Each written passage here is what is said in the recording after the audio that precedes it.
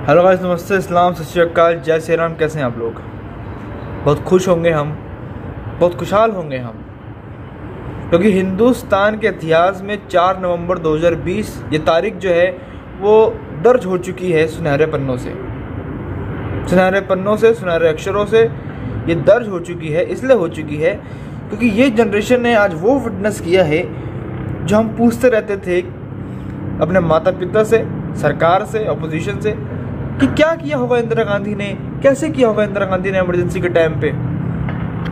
Democracy जो इस देश की रीढ़ की हड्डी है, उस, वो तोड़ के जो है देश को विकलांग करने की कोशिश कैसे की होगी? जर्नलिस्ट जो है, उनका क्या किया होगा उस टाइम पे? आज हमने वो चीज़ विटनेस करी है। अब हमें पूछना नहीं पड़ेगा किसी से। ये तुगलक राज जो आया है अब इस महाराष्ट्र में, तुगलक राज जो आ गया है महाराष्ट्र में, बहुत गर्व से कहते हैं हम कि हम हिंदुस्तान में हैं, हम भारत में हैं। यहाँ की जो, ये जो हमारी माया नगरी है, मुंबई, यहाँ पे तुगलक की राज आ चुका है। ना सिर्फ़ मुंबई, पूरे महाराष्ट्र में बल्कि। अर्णब गोस्वामी को सुबह सुबह अरेस्ट किया गया। ठीक है? जिस तरीके से अरेस्ट किया गया, घसीट के, घसीट हाईएस्ट पे जर्नलिस्ट हैं वो इस देश के, सबसे बड़े जर्नलिस्ट हैं। रेपुटेड भी हैं रिस्पेक्टेड उनकी रिस्पेक्ट भी बहुत ज़्यादा है। और उनको जिस तरीके से घसीट के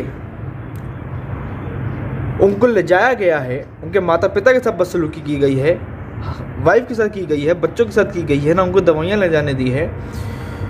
और धक्का मार के उनको वैन में जो है, सर पे धक्का मार के उनको जो है वैन में अंदर घसीटा गया। उनको धक्का दे के जो है, उनको अंदर धकेला गया जो है वैन के अंदर। ये सब हमने देखा है लाइव तस्वीरें देखी है। और अर्नब से जाती दुश्मनी है। अब सरकार की, पुलिस की, ये बात अब छुपी नहीं है। गड़े मुर्दे भी लोगों खान उखाड़ने पड़े तो भी अब कुछ नई बात नहीं होगी हमारे लिए। जो केस दब चुका था 2018 में, उसको निकाला है। भाई देखो, सुप्रीम कोर्ट का ऑर्डर है कि आप इनको गिरफ़्तार नहीं कर सकते। जो कमिश्नर, जो सरकार सुप्रीम कोर्ट के ऑर्डर को ना माने, उसको अब क्या कहेंगे? ये तुगलक के राजा नहीं है क्या?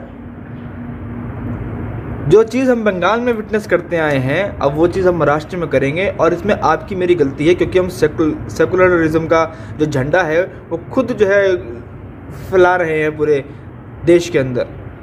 और खुद ही लेके घूम रहे हैं, खुद ही लेके घूम रहे हैं। और क्या हुआ? क्या हुआ?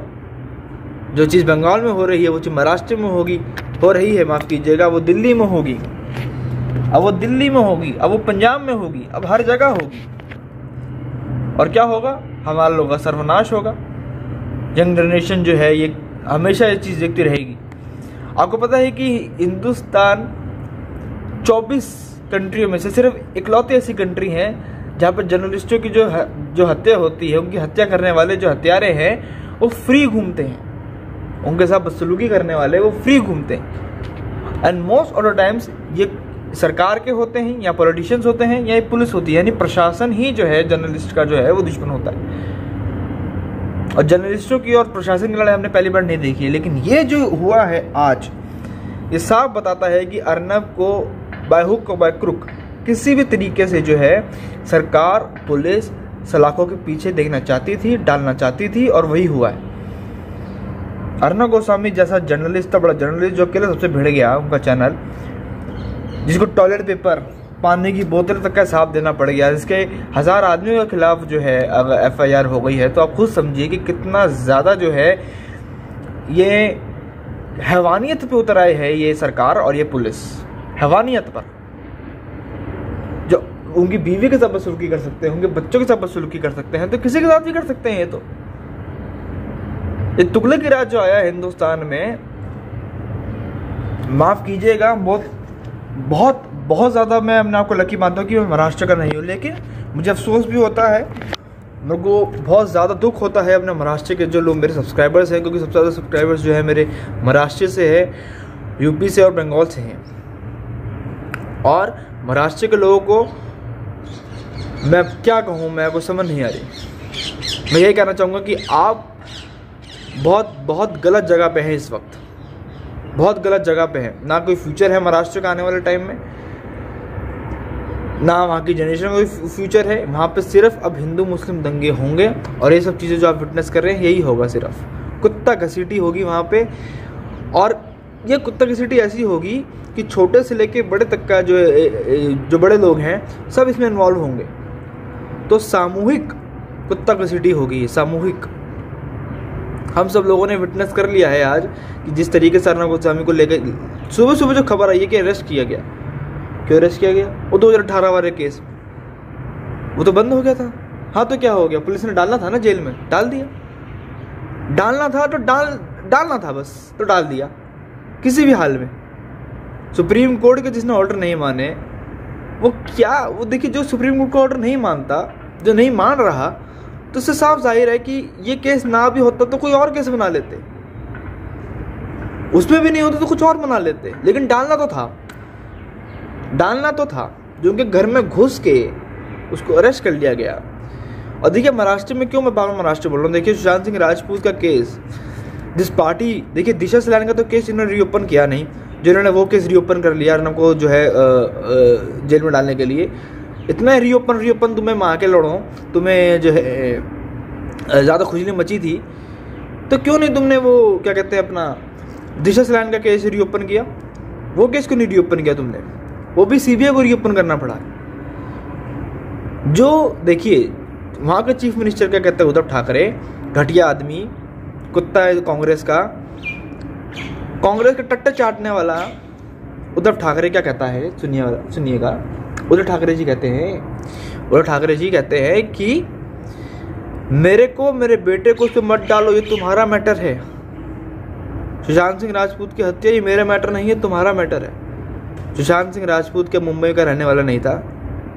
महाराष्ट्र का रहने वाला नहीं था? तो महाराष्ट्र सरकार अगर एक नागरिक के बारे में, इतने बड़े हस्ती के बारे में कह सकती है कि उसका केस हद से हमारा को लेना देना नहीं है। तुम्हारा लेना देना कैसे नहीं है? तुम्हारी जिम्मे नहीं बनती।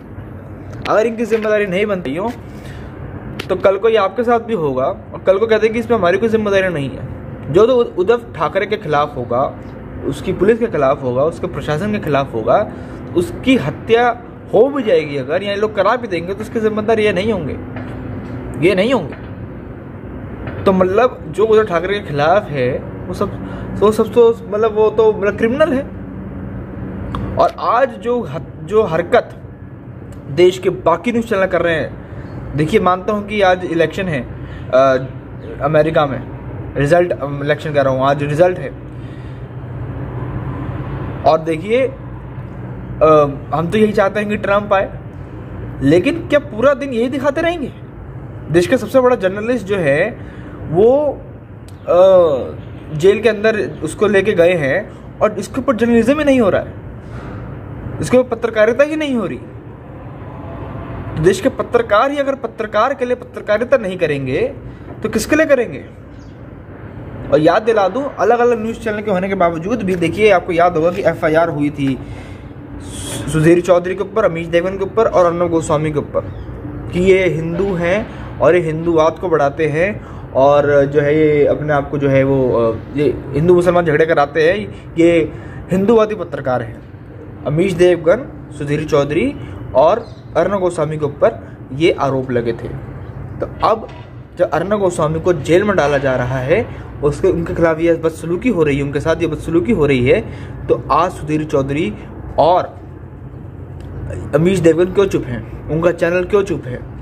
ये राष्ट्रवादी बनते हैं और राष्ट्रवाद का जो चौथा स्तंभ स्तंभ है जर्नलिज्म उसको आप कैसे छोड़ सकते हैं? क्या अमेरिका के इलेक्शन इतने बड़े हो गए हमारे लिए कि हम देश के जो जो ज़मीनी मुद्दे हैं उनको छोड़ दें।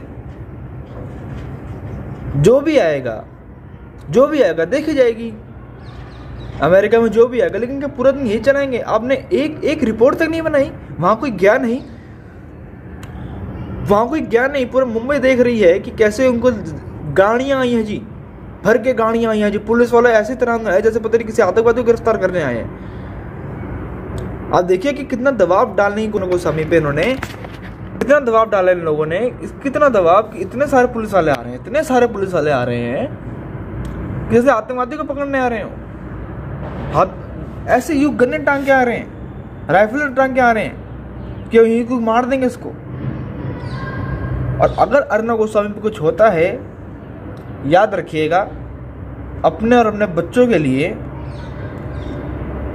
अगर हम नहीं उतरे सड़क पर, आने वाली जनरेशन के लिए नहीं उतरे सड़क पर तो फिर हमसे बड़ा कायर कोई नहीं होगा, मैं और कोई शब्द का इस्तेमाल करना नहीं चाहता।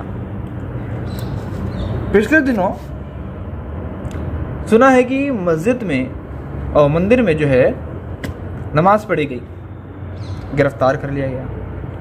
कल मस्जिद में हनुमान चालीसा की गई। और कहा कि हिंदू मुस्लिम और उन चार हिंदू लड़कों ने कहा कि हम तो हिंदू मुस्लिम भाईचारा बढ़ा रहे हैं, उनको अरेस्ट कर लिया गया। एक आदमी ये कहता है कि मंदिर को तोड़ेंगे हम, वहाँ पे मस्जिद बनाएँगे। और एक आदमी कहता है कि हम तो भाईचारा पढ़ा रहे हैं। तो इन दोनों में कोई फ़र्क दिखता है आपको? मुझे तो बहुत दिखता है। लेकिन हुआ क्या? दोनों को अरेस्ट कर लिया गया। दोनों को अरेस्ट किया गया। तो यहाँ पे, फिर यहाँ पे ये सिलेक्टिव जो है ये प्रोपोगंडा क्यों होता है? फिर यहाँ पे सिलेक्टिव क्यों होते हैं? जब उनको रेस्ट कर लिया गया तो इसको क्यों नहीं? यहाँ पे अगर, जो फिर तो रवीश कुमार भी होने चाहिए, जो हिंदू मुस्लिम साफ़ साफ़ भड़काते हैं। उन्होंने कहा कि हिंदुओं, क्यों लेते हो तुम तेल जो है अरब से, क्योंकि वो तो मुस्लिम कंट्रीज़ हैं कट्टर हिंदुओं मत लो तेल। कोई पत्रकार ये भाषा इस्तेमाल करता है? नहीं, ये रवीश कुमार करते हैं। और ये तो बहुत छोटा सा एग्ज़ाम्पल दिया है, इन्होंने साफ़ साफ़ बहुत चीज़ें कही हैं, बहुत सारी चीज़ें कही हैं। तो उनके खिलाफ कभी नहीं होता, जिस चैनल को अपना चैनल बचाने के लिए, अपना अस्तित्व बचाने के लिए कोर्ट तक जाना पड़ जाए, उस चैनल के खिलाफ कोई खड़ा नहीं होता।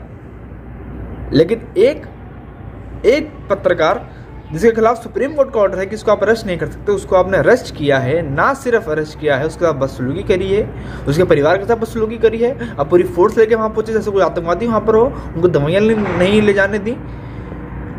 तो ये तुगलक की राज है महाराष्ट्र में। और महाराष्ट्र वालों के लिए मेरे दिल में सिंपैथी है, मुझे अफसोस भी हो रहा है कि ये लोग कहाँ फंस गए। लेकिन क्या करें? राजनीति है। चलिए।